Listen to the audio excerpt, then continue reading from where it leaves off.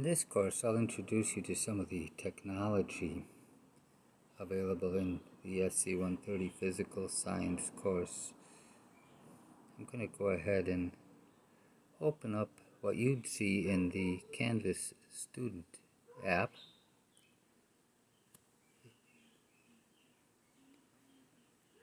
It would open up to a dashboard. In this case, I am only in the physical science class you might have other classes in Canvas. Here you can see the home screen. You can click on that and get back to the course introduction and front page. The modules is a real useful place to work from. The modules show you the the organization of the course um, and so it's a good place to start is here in the modules. You can fold them up, open them up as you work your way through the course, and you can see that there are dates within each module kind of guiding you as to what to do. So you might be introducing yourself on the 11th. Um, the links that you see are links to videos.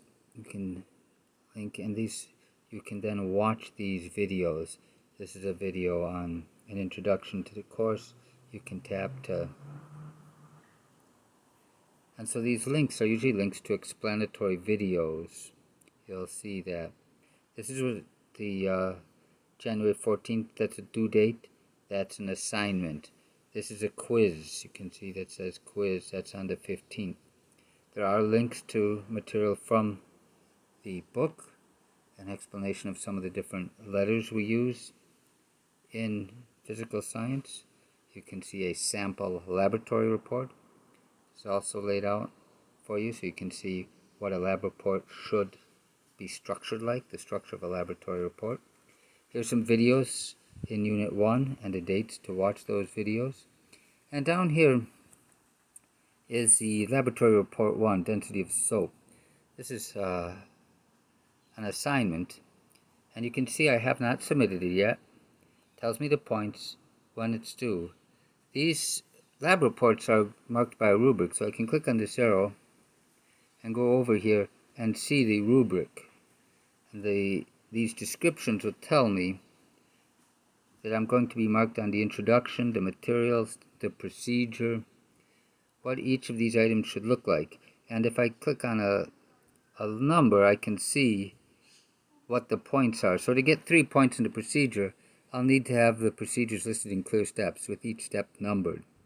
Uh, for the materials, a complete list of all materials. The data, all relevant data has to be recorded. So I can see what it will take to get full credit. I can also see that if there's no evidence, if there's no table, I'll have get zero points on that. And these will add up to 71 points. You are being marked for grammar. Uh, essentially excellent grammar, good grammar, vocabulary, which includes spelling, and cohesion, consistent choices and cohesive structures. The ideas flow logically, the discussion remains on topic, connected words assist the reader. These last three are student learning outcomes for the course. Uh, they are the student learning outcomes. And you're marked on these three as well, exploring science to experiment, mathematical models, and communication skills. So you can see the rubric and know how I will be marking that lab report. Now, in order to submit the assignment, you can see that the submission type is going to be a file upload right here. So I've got to have a file I can upload from my phone. and to do that, I'm going to put this away for a minute. I'm going to, uh, first, Desmos is on my phone. You will need Desmos because that's where you'll be doing your data. That's where you'll be uh, um, putting things together.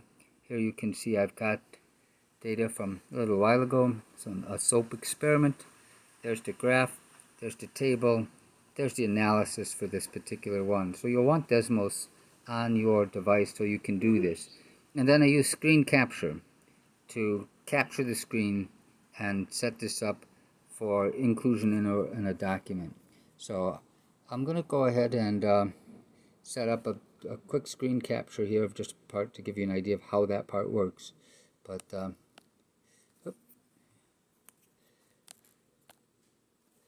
Now you won't be able to see this part, but I'm actually doing a screen capture, and I have uh, the ability to edit my screen capture uh, as I work. So I'll come back to that later. And it would actually take three screen captures, but I won't do all of them here because I'd have to have a graph, cut that out, the table, and the analysis.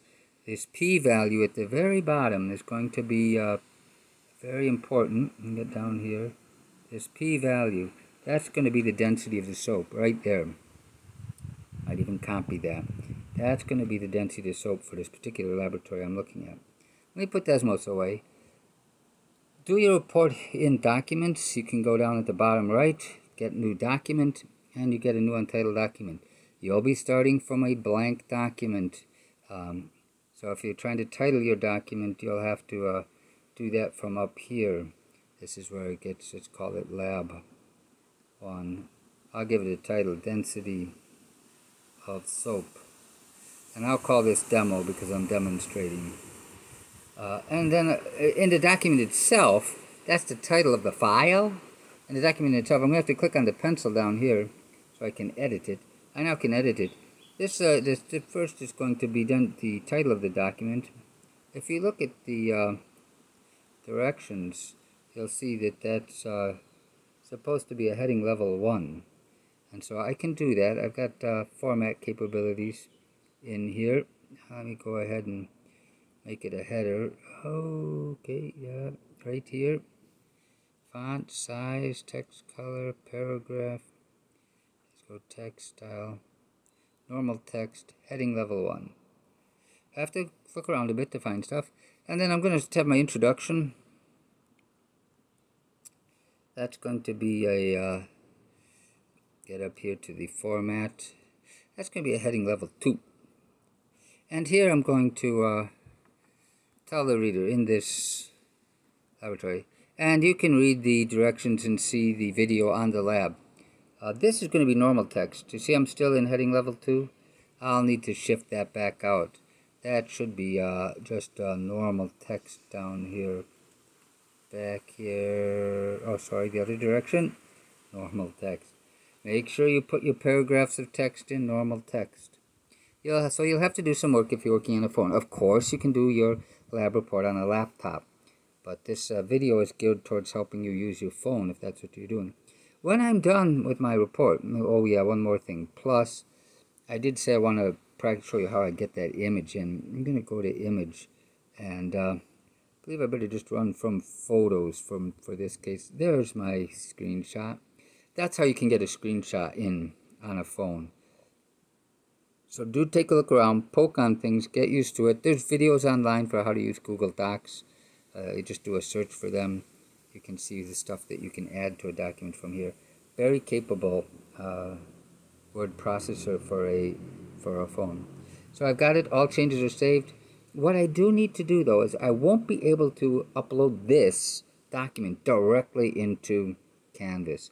So what I'm going to have to do is uh, get this thing downloaded and that doesn't happen here. See the arrow at the upper left? I gotta click on that arrow. There's my lab 1 in the upper left corner, just now appearing. There's a little hot dog menu here. That's where I can do download at, back at this main dock screen. And so that's what I'll do. I'll click on download at the bottom there. And now I can download that file uh, to my uh, to my phone. Uh, it, itself. So it, it downloaded a copy of that. You see that at the bottom. I can also, if I wish, save it as a Word document. That, that's an option as well. Either one, download or save as a Word document. If I want to save it as a Word document, I just click on that. And it will, um, yeah, maybe later. So you can save it as a Word document. That done, with it downloaded, a copy on my machine, um, other possibilities down here, you can save as Google Docs, you can save as that. That, that done, you can then go back to your Canvas screen here, and on the bottom, submit assignment, file upload. Now you'll need to choose a file, but I'll go to my device, bottom right, bottom right device. You'll see lab 1, density of soap demo PDF. that was that first uh, download that I did there. I down it downloaded as a PDF file, uh, and it's in my recent files. But if I had to navigate to somewhere else, I could. I've got downloads here. There's the download, and so that's probably the easy way. Just click download; it'll appear right there. And so I'll click on that file, and I'll say, uh, see where it says submit up there?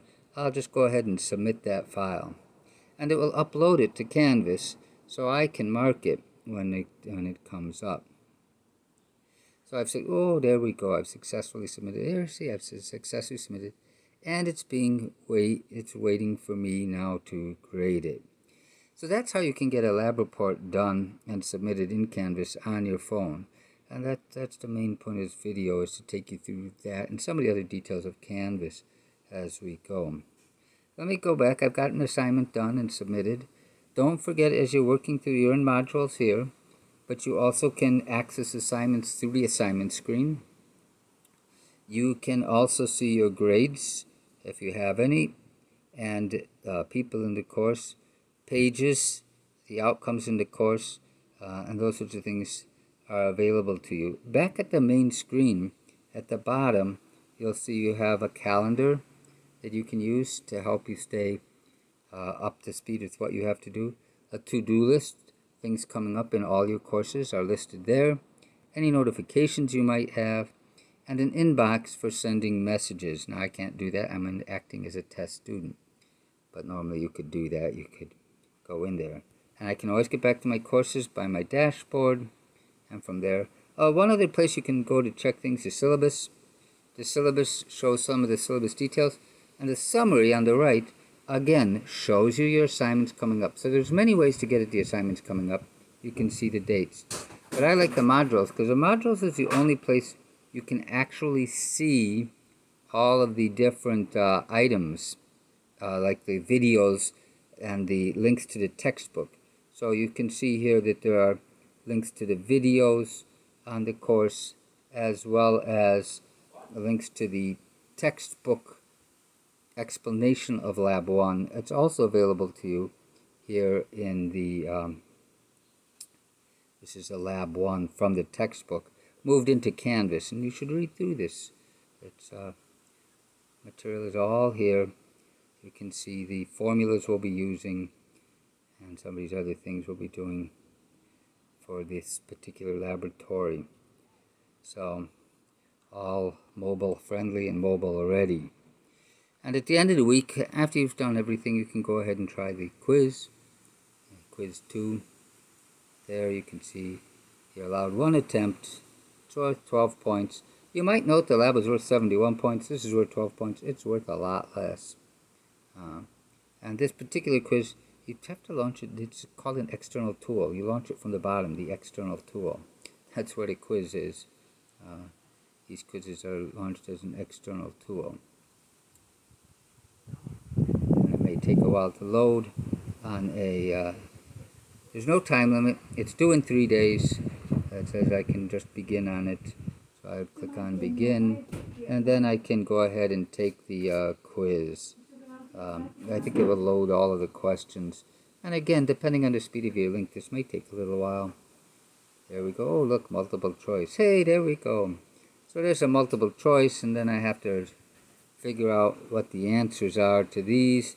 Here, just type the number, don't put in the units. Just type the number, don't put in the units. Now you can see all of these different things. There's another, you know, uh, it's got nine questions, each worth about a point. Some are worth two points. Uh, so, just a quiz to check your understanding on this week. When you're done with the quiz, you can click on Submit. I'm going to go ahead and return. I didn't do anything, so I don't need to submit to it. Uh, and of course, it's not, it was confused me back when I was checking where it was. But when in doubt, you've got to use your comfsm.edu account. And I suspect I'm going to land back eventually in my teacher account because I left that other one. Yeah, I've, I've come back into, um, into my teacher account itself at this point.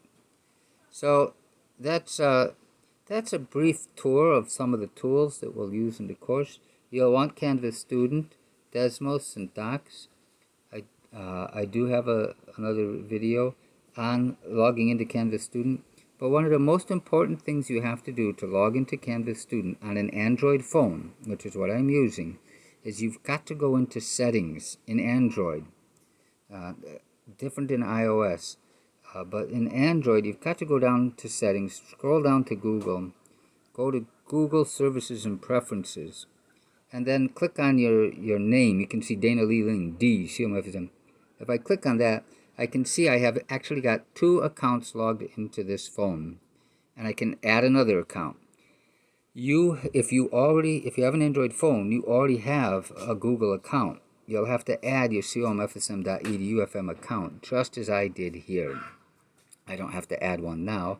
I already have my second account in. But you must have both in for Canvas to operate properly on an Android phone. Very important. Once you've done that, you can then sign in successfully to Canvas Student and do the, the, do the work. Now, when you open up Canvas Student the first time, uh, it will ask you to uh, log in to the school. So you'll need to know the school address, comfsm.instructure.com not instructor, instructure. I'll throw a link down below for that. Uh, and then you can find your school, and then you log in. Uh, you may have to use that comfsm.edu.fm uh, email and password on the app to get the app to uh, log in properly. So make sure you remember those for that. But that's a brief tour. Those are the tools you'll need to get your lab reports done and how you can get your lab reports done.